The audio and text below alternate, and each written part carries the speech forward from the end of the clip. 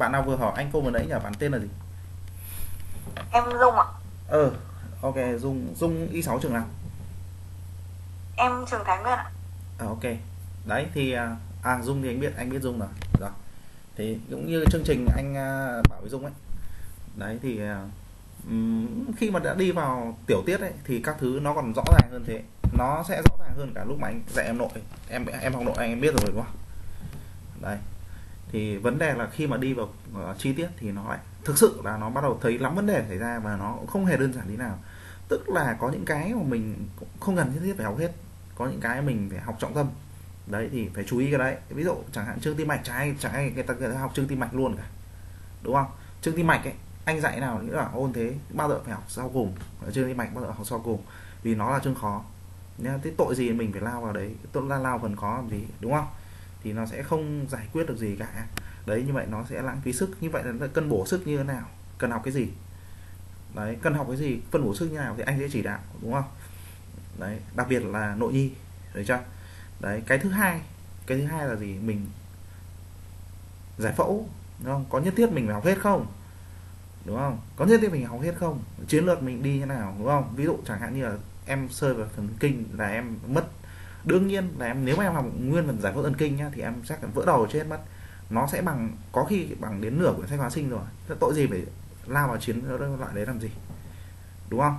Đấy cái thứ hai là phải nhớ là anh sẽ gửi cái chiến lược cụ thể anh sẽ gửi cho qua zalo cho các em nhá. Đấy nên là nói trong này anh chỉ dạy y 6 thôi y 4 y 5 uh, à, y 4 y 5 xin lỗi các bạn tí đi ra ngoài. Đúng không? Tại vì các bạn anh không anh không dạy ấy, y 4 y 5 anh không dạy tới bây giờ mà anh chỉ dạy lúc sắp thi. Đấy để anh muốn các bạn có một cái gì đó là nói chung là đạt được một thành quả đó nó tốt. Và cái thứ hai nhất là uh, quan trọng là anh muốn các bạn đỗ nhiều hơn là các bạn muốn. Đấy tại vì rất là thích đúng không? Một chú đó là ví dụ đây có lọ ví dụ đệ của anh một năm rồi. Anh dạy anh hiểu mọi người, anh đã dạy được mọi người những cái gì rồi thì nó là nền của mọi người, từ từ đó mình phát triển lên, nó rất là tốt. Đấy, còn nếu mà ai mà anh chưa dạy bao giờ nhá, thì anh bắt đầu dạy, thì nó lại là kiểu khác, mình đi kiểu khác. Ví dụ chưa dạy bao giờ, bảo bây giờ anh anh dạy em lên một trăm. Bảo, chịu. Và anh bây giờ có ba đầu sáu tay anh cũng chịu, anh không thể dạy được kiểu đấy được, nhá. Anh chỉ có thể dạy bọn em từ top 350 vào kéo lên từ tốt khoảng 200 là là là, là tốt rồi. Ví dụ lên 150 bậc đúng không? Để từ 250 ông vào được 150 nhưng mà nó từ 150 vào 100 là nó sẽ là cực khó đấy. Nhá. Đấy thì nó ở cái sẽ phải là cái tố chất của em nữa. Được chưa? Anh chỉ biết là anh sẽ cố gắng hết sức làm mọi thứ để cho em nó cái à, kết quả thi nó sẽ tốt hơn. Được chưa? Đấy và cũng nói luôn chả có cái phép màu thì bảo là à, bây giờ anh uh, anh đưa cho bọn em ngân hàng đề uh, để bọn em thi tốt hơn. Anh làm gì có anh làm gì có ngân hàng đề đúng không? Làm gì có ngân hàng đề mà đưa bọn em đúng không? Nên là tất cả những cái bảo là truyền thuyết các thứ có ngân hàng đề cái thứ thì là là là gần như là nó là phi lý. Tất cả những cái gì là những cái cái mà người ta thi ấy, người ta nhớ lại cho mình và nó chỉ điểm mình là phần này phần này phần này đó lại tập trung ôn thì tôi sẽ có hiệu quả đúng không? Ví dụ chẳng hạn như là các cái vấn đề mà tập trung, đúng không? Các em biết thừa rồi, đúng không? Nội thì tập trung vào sách, đúng không? Nhi tập trung vào slide, đúng không? Slide thì cố gắng cập nhật những kiến thức mới nhất. Đấy, nếu mà cái gì khác, sách, slide, đúng không? Xem sách gì xem slide. Đấy, vấn đề sách nếu chưa cập nhật được thì mình phải cập nhật theo slide, theo cái quan trọng là cái form của cái người ra MCQ ấy. Được chưa? Mình sẽ cố gắng mình đoán cho sao nó sát nhất, có thể. Được chưa? Và thường ấy à, thường bọn em mắc một cái lỗi là trong những thời gian cuối ấy, thì bọn em thường là à, ôn ấy thì thường là nó bị lan man ấy. đúng không? Nó bị lan man ấy. Ví dụ đơn giản anh nói ngay ờ, đơn giản nói ngay của năm ngoái thôi. Đấy 50 chú Thái Bình đúng không? năm anh biết mà đúng không? 50 chú Thái Bình à, vì đệ của anh là ờ, trưởng câu lạc bộ tích cực mà đúng không? Đấy nếu mà ông nào Thái Bình thì biết đúng không? Chắc là cũng biết bạn đấy cũng nổi tiếng đấy ông nội chú tim mạch nhá. Thì đấy có, có chú nào ôn rất nhiều có vào top 100 đến đầu ngón tay nhá. Đấy gần như là có hai ba người nhá. Đúng không? À, hùng đứng thứ tám đúng không? Đấy có cái thùy đứng thứ 41 đấy. Và uh, nếu mà các bạn để ý ở Vinh năm ngoái còn một chú nữa xếp 92 đó. cái này ít người biết nhá đấy nhưng thực sự là các bạn cũng khủng khiếp đấy nhá. Đấy thì tóm lại nó là một cái cơ hội cho mình. Đấy và mình phải chiến đấu thôi đúng không? Đấy thì và khẳng định luôn là chả có cái phép màu gì đâu mình sẽ đi mình sẽ cố gắng mình ờ, mô phỏng các thứ sao cho nó uh, cố gắng ok nhất để mình sẽ tránh bị lạc hướng được chưa? Đấy là cái điều mà anh muốn nói với các em.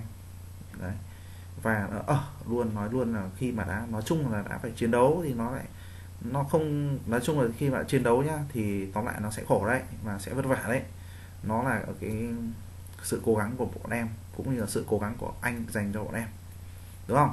Ví dụ chẳng hạn như là anh mất một đêm mất ngủ đúng không? Thì bọn chú cũng phải mất hai đêm như đúng không? Làm gì các chú mất ngủ không ngủ được mà anh lại chơi được anh chịu không chơi đúng không? Cũng như anh mất ngủ các chú chơi được không được đấy, nói rõ ràng như thế, tóm lại có vất vả không? Có. Nhưng mà anh tin rằng thì nó sẽ hiệu quả.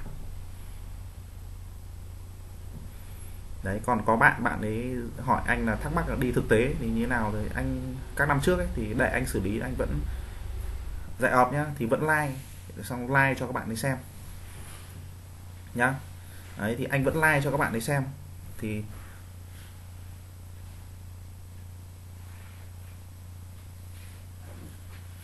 nhá thì anh vẫn like cho các bạn ấy xem. Anh phải cân đối thời gian chứ, tại vì có phải ông nào họ apply đâu, bảo là bây giờ ví dụ hai, ba tháng cuối. Nhá. Bây giờ bảo là bởi vì khi mà đã bắt tay vào rồi thì thực sự là mình sẽ vất vả đấy. Nếu mà trong này ai có ai học được một cái khóa nội phun của anh sẽ biết anh dạy như thế nào. Nói chung là nói các chú là nó khản cổ luôn ấy.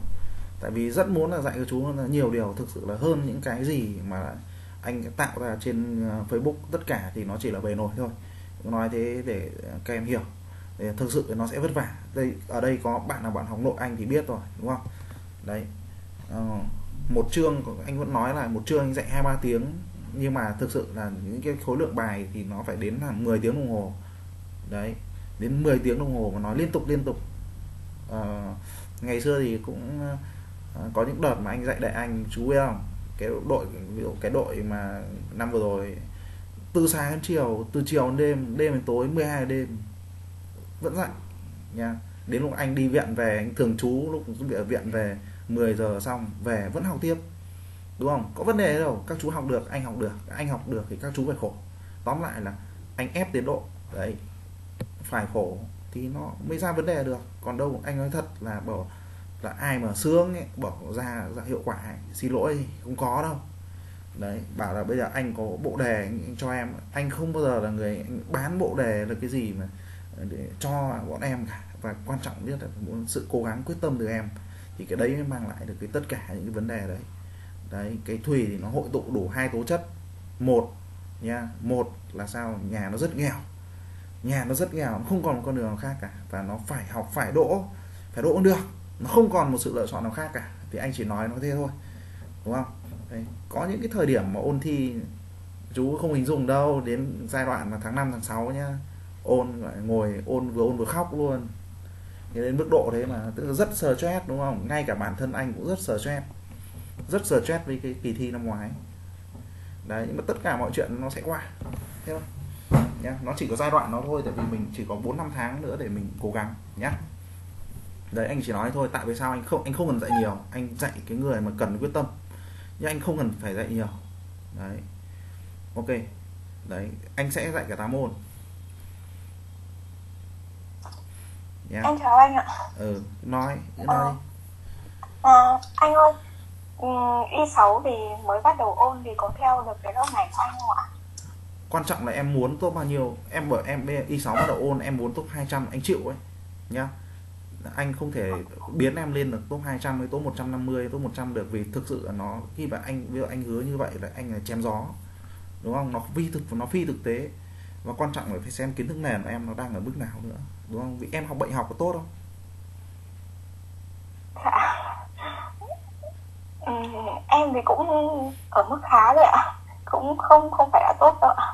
Thế bây giờ ví dụ đơn giản hỏi cô này uh, 10 nguyên nhân gây sơ gan là gì? Cô kể cho anh nào à, em anh là tiên là rượu ạ. Một rượu à, hai. viêm gan ạ. Hai viêm gan virus Ờ. rồi ba. À, à, hóa chất ạ. Ờ, ok hóa chất đồng ý. À, thứ tư à,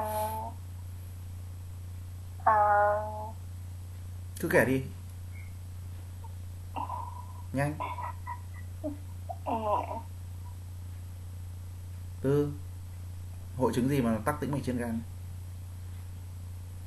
Tăng áp lực tĩnh mạch cửa. Hội chứng gì Ờ. tắc tĩnh mạch trên gan cơ mà? À suy tim. Không phải hội Ờ. hội chứng gì mà tắc cái tĩnh mạch trên gan ấy? Hội chứng bu gì đấy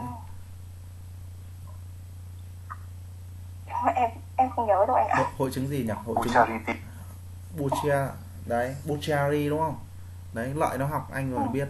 Phải nhớ phải nhớ chứ đúng không? Suy tim thì cũng đúng thôi suy tim phải đúng không? Không phải suy tim trái đúng không? Vâng suy, suy tim toàn bộ Vâng nó có, thể gây sơ gan mà thường suy tim Vâng. phải ví dụ chẳng hạn như trong tăng lượng động mạch phổi chẳng hạn đúng không? Đúng không? Trên bao nhiêu trên 25 là tăng đúng không? Đấy. Ok thế là được rồi kể tiếp đi. Nguyên nhân thì sơ gan nữa nào kể anh xem nào. À,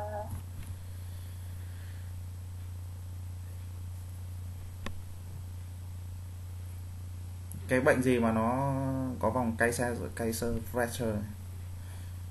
à, bệnh đường mật ạ. Không phải. À à em không biết. Bệnh gì mà có vòng vai Kaiser Kai- Kaiser fracture nhỉ? Và đồng máu đồng điệu tăng nhỉ? Đồng mà celluloparamin giảm đấy. Bệnh gì nhỉ? Bệnh Win gì Wilson đấy ok. Đấy chưa?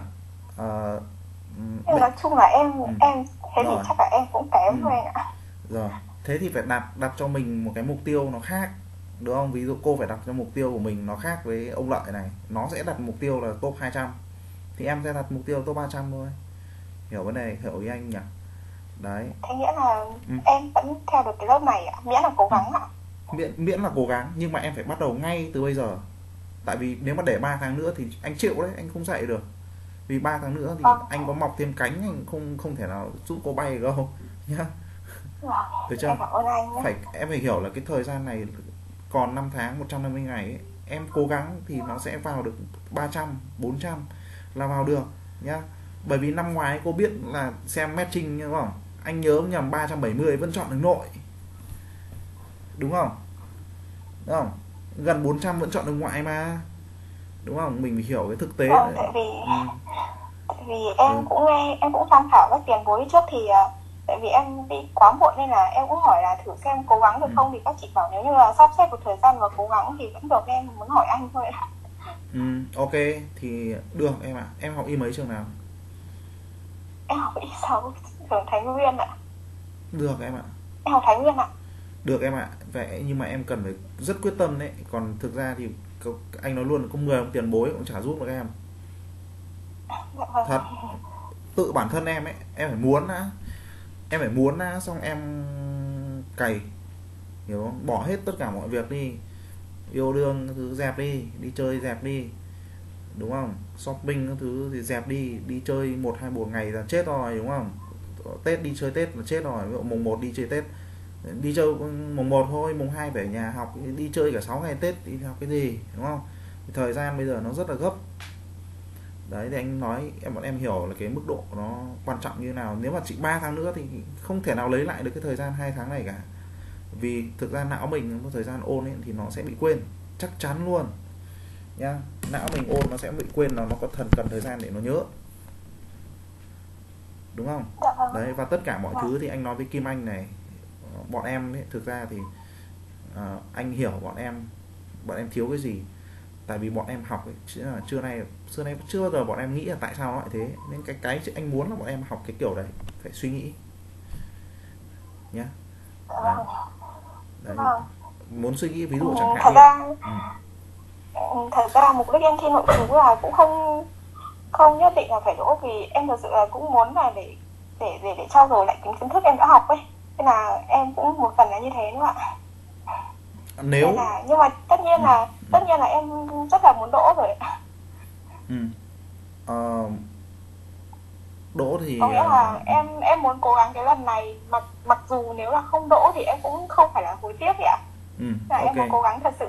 Ừ, ví dụ như là không đỗ cô cũng biết là sơ gan ờ, trong bệnh tha lát nó do quá tải sắt nó gây sơ gan đúng không? Đấy thì Vâng, cô cũng vâng. biết cô cũng biết là các cái ví dụ chẳng hạn như là các cái ờ, sơ gan suy tim sơ gan đàn xếp đúng không? Ví dụ đơn giản là thế đúng không? Vâng, đấy hoặc là vì ờ, ừ, đấy. em cứ kiểu là tại vì năm cuối này thì em ờ, em không có ý định thi nội chú này em cứ học xong môn nào thì em cũng không nghĩ gì nó nữa. Thế xong là em cũng Ừ. chứ lúc đấy em vẫn chưa xác định nên là ra tết này tự dưng có một cái quyết tâm lớn hơn một chút. Ừ, quyết tâm lớn ấy à, anh chỉ nói đơn giản này quyết tâm lớn ấy nhưng mà khi mà dòng đời ấy, nó ập vào đầu em ấy thì lúc đấy anh nghĩ là cái quyết tâm nó sẽ bị thấp xuống. Có những cái giai đoạn mà quyết tâm của mình nó sẽ thấp nó sẽ nó sẽ nó sẽ tăng và quyết ví dụ gặp anh quyết tâm lên cao nhá. Một tháng nữa gặp anh quyết tâm nó chỉ còn được một nửa thôi hiểu cho hiểu vấn đề không? Nhưng mà nếu mà một tháng nữa quyết tâm của cô tăng gấp đôi câu chuyện nó lại khác đấy. Em hiểu không? Đấy thì anh chỉ nói với Kim Anh một điều như vậy thôi. Có thể em không học anh, hoặc là em có thể học anh, cái điều đấy là không quan trọng. Nhưng anh muốn nói với em là nó phải quyết tâm. Đấy. Được chưa? Còn cái thời gian anh sẽ gửi cho em, bọn em cái thời gian, cái chiến lược anh đưa ra. Đấy. Thì anh nói thật là đệ của anh ấy, mỗi năm anh chỉ dạy chưa đến 20 người đâu và anh nói luôn là sẽ có, phải có thử thách, đúng không? Bởi vì anh biết là có những bạn bạn ấy chưa đủ quyết tâm nhưng mà bạn ấy học. Nhưng mà thực ra đệ của anh anh thử thách hết đúng không? Đệ của anh em anh thử thách hết thì ờ, các bạn cũng phải hiểu một cái điều là uh, anh nói chung là anh cái tâm huyết anh để ra như thế nào thì các bạn thứ nhất phải trân trọng cái điều đó. Và cái thứ hai là phải sống làm sao cho nó xứng đáng với cái đấy. Hiểu vấn đề không? Còn đâu anh nói luôn là anh không nhất thiết anh không cần phải dạy nhiều người. Nhưng mà anh đã dạy ai ấy, thì phải cố gắng phải chất thế thôi. Nhá. Có thể nhóm mình có thể có 100 người có thể có thể 100 người này có thể 50 người điều đó không quan trọng 15 người vẫn dạy. Quan trọng là gì? Anh muốn dạy những cái chú thực ra nếu mà học anh lâu lâu được cái tốt anh sẽ cày cho nó lên tốt nó cao cao một tí. Đấy để cái thứ hai là đúng không? Anh muốn các chú đỗ hơn là anh đỗ đúng không? Tại vì các chú mà không đỗ đúng không các chú mà không đỗ thì sao? Uy tín của anh nó giảm chứ đúng không? Đấy nên là anh cũng phải nhìn người mà anh dạy chứ anh dạy dạy bừa bãi đâu. Cái thứ hai là khi mà học anh các thứ nó không nghiêm túc đúng không? Nó cũng ảnh hưởng đến cái tim đệ của anh chứ không phải đơn giản đâu. Đấy nhá. Còn anh thoải mái ai thích học thì học. Còn ai tự học được thì anh nghĩ vẫn là tốt nhất. Đấy. Ừ. nhá. Đấy thì năm nay thì cũng uh, may mắn hơn là anh ờ, vừa học nội chú xong. Các thứ thì uh, anh vừa học nội chú xong thì uh, các thứ thì uh, cái thời gian của anh nó sẽ quỹ thời gian cái buổi tối. Ví dụ ngày xưa anh tuần anh trực ba bốn buổi cả cấp cứu cả bên trên khoa nội các thứ ở, ở viện. Thì cả thường trú nữa tuần anh có khi đi đến buổi tối đến là bốn năm buổi. Đấy thì năm nay có nhiều thời gian hơn thì các em được nhiều các thứ nhiều quyền lợi hơn. Em hiểu không? Nhá hiểu không?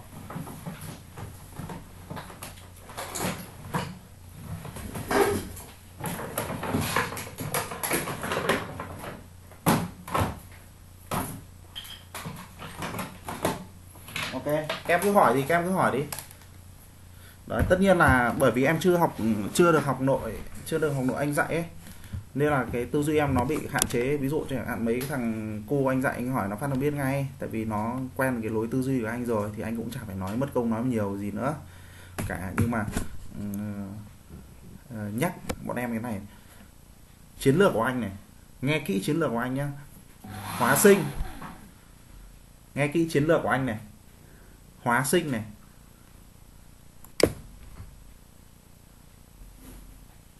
Nhắc lại này anh anh anh tự ra hôm nay có một số bạn online nhé thì anh nhắc luôn cả nhóm này các bạn không nghe được thì uh, uh, nghe nhá. Chiến lược của anh này hóa sinh này sinh lý nội nhi ok bốn chân kiềng đấy. Bốn chân kiềng chính chiến lược của anh. Năm nay sẽ là như vậy.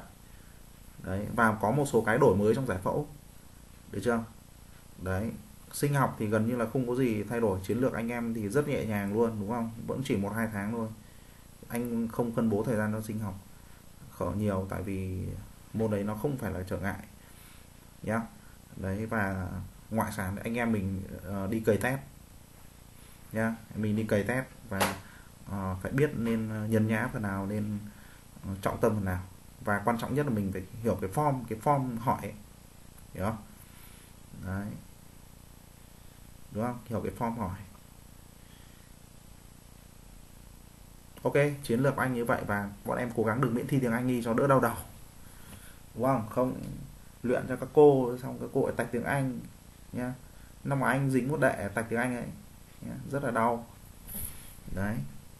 Đúng là thừa đỗ một cái nội chú nội rồi. Tiếc ghê thật. Đúng không? Thực ra bạn ấy thì cũng buồn hơn là anh thì cũng buồn một phần bạn ấy buồn 10 phần. Đúng không? Đấy. Thì anh cũng không tiện nói tên Thái Nguyên nha em. Nhá. Rồi. Ok. Nhá. Có hỏi gì không? Hỏi anh nốt một câu. Nhá. Xanh sẽ gửi các cái kế hoạch 150 ngày. Cho nhá. Đấy như vậy vấn đề về thời gian là thoải mái đúng không? Về online offline thì nó phá vỡ giới hạn nó không quan trọng đúng không? Cái số 3 cái số 3 là gì? Về uh, vấn đề hàm lượng kiến thức thì anh sẽ khu trú lại cho nhé đấy anh sẽ chỉ điểm và em bọn em quyết tâm được.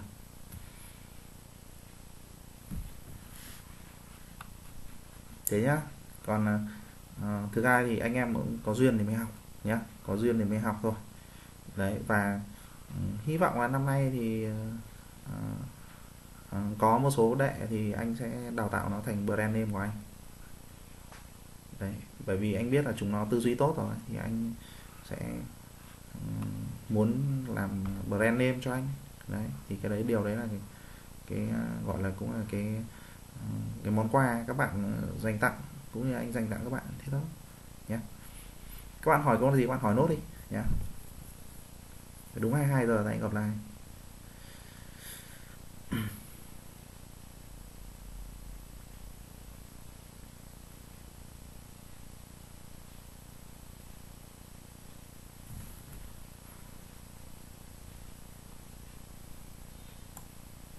Nam cũng khá đặc biệt.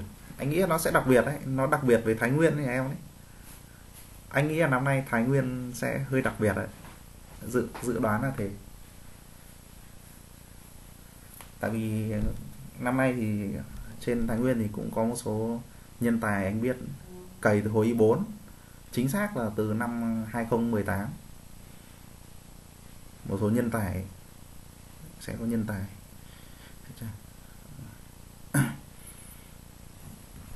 Hỏi gì hỏi tiếp đi. Nào, hỏi nốt đi để gặp lại nhé được chưa?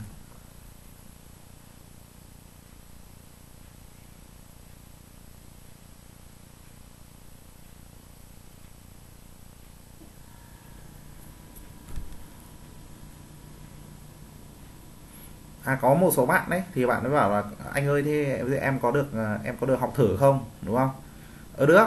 Ok, vô tư, nhá đấy, thì anh sẽ tạo điều kiện cho các bạn, anh cho các bạn học thử một tháng đi. Nhá, anh cho bạn học thử một tháng đi. Ok không? Mọi người nhất trí không? Thoải mái đi, nhá. Có phải là anh ờ, anh khó tính nào đâu, đúng không? Nhất trí, học thử một tháng. Đấy, mọi người thấy thì có hợp lý không?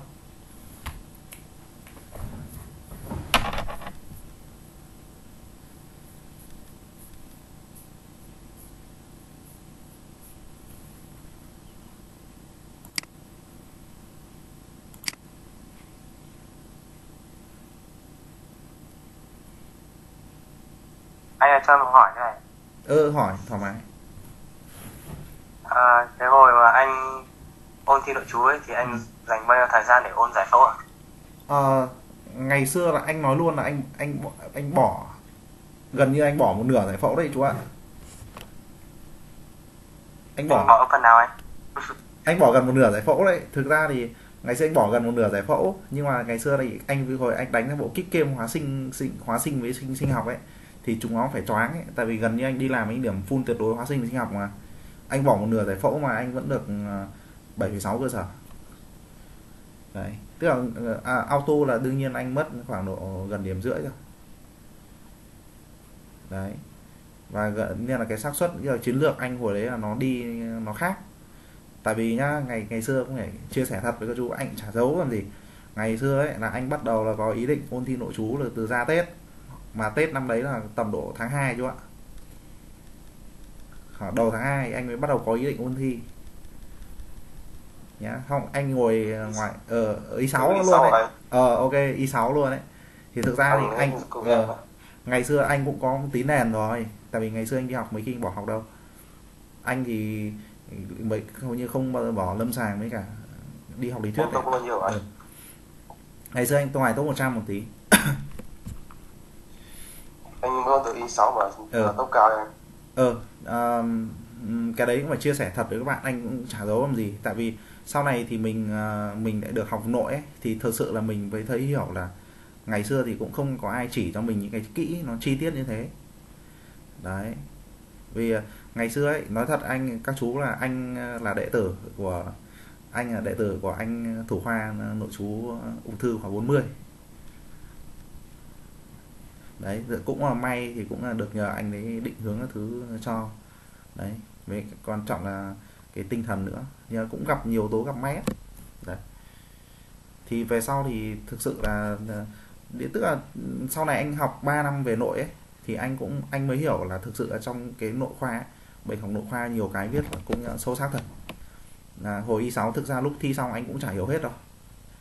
Đấy.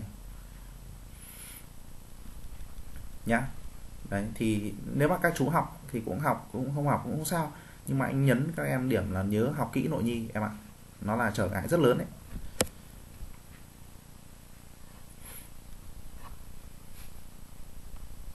Nhá. Thi bao nhiêu vòng bao nhiêu vòng tim mạch không anh Ờ, ừm, nếu mà em xác định là 200 ấy gạt phần đấy sang bên thời gian cuối học cái đấy cho anh. Kịp thì kịp không kịp thì thôi ngày xưa em học chắc tim mạch rồi mà. Ừ. em nghĩ sợ như là phần đấy thì em chắc là như phần như chắc là như gần hết rồi. Ừ. rồi thế tốt phần rồi. em chưa học được lắm thế tốt rồi. Thế là chú là sơi được phần khó nhất này này. Nhá. Hai phần tim mạch và cấp cứu là hai phần ờ, mắc khó siêu khó đấy. Hai phần đấy ngày xưa là em như là em định ờ, học để em mới Ừ. làm thôi chứ không phải là học để để chú. Nhưng mà ngày xưa là em ôn sâu được từ y y năm là ôn ờ, nội tim mạch ôn về tim mạch sâu rồi. Rồi thế là kinh rồi nhá. Nhưng phải cân đối thời cái cân đối các cái mảng với nhau. Anh chỉ dành cho em lời khuyên như thế còn thôi. phần Ừ. phần mấy phần kia thì em như là giờ mới học. Ok. Thì học gọi là học đi lâm sàng thì ờ, học cái nào thì học cái đấy thôi. Rồi chú Còn tên là gì? đi trực ở bên tim mạch nhiều. Chú tên là gì?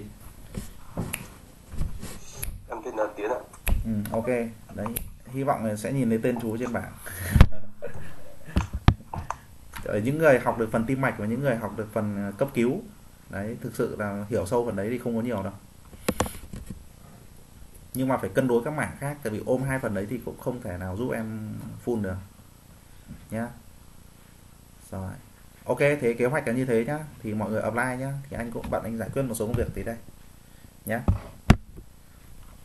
Rồi. Ok, thế chào mọi người nhá rồi thì có có gì thì anh à, sẽ tất nhiên là sẽ à, dạy anh em nhé à, cho học thử một tháng luôn nhé không vấn đề gì. Chà.